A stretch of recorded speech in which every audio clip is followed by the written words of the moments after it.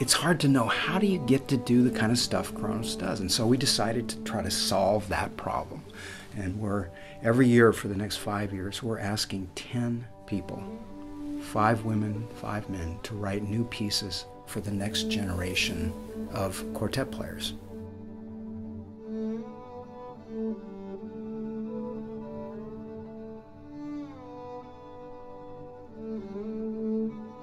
Writing for the Kronos, of course, is a great honour, but to think as well that there'll be younger quartets behind them.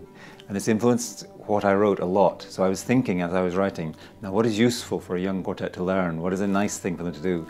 And I also thought, what is enjoyable in this part? Because you know, I play myself, I know what's fun to do and what's less fun to do. And I was trying to give everyone a share of you know, activity, maybe some little things they hadn't seen before, but nothing too extreme. Just lead them a little further than they were probably going anyway.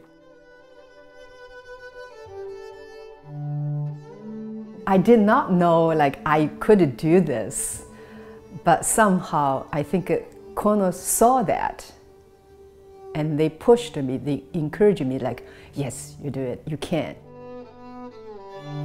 There's many ways to creative music.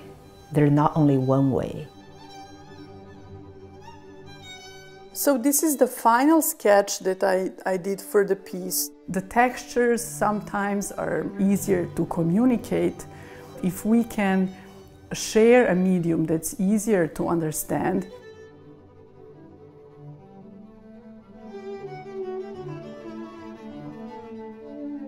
Through all this searching, the four of them found a way of togetherness.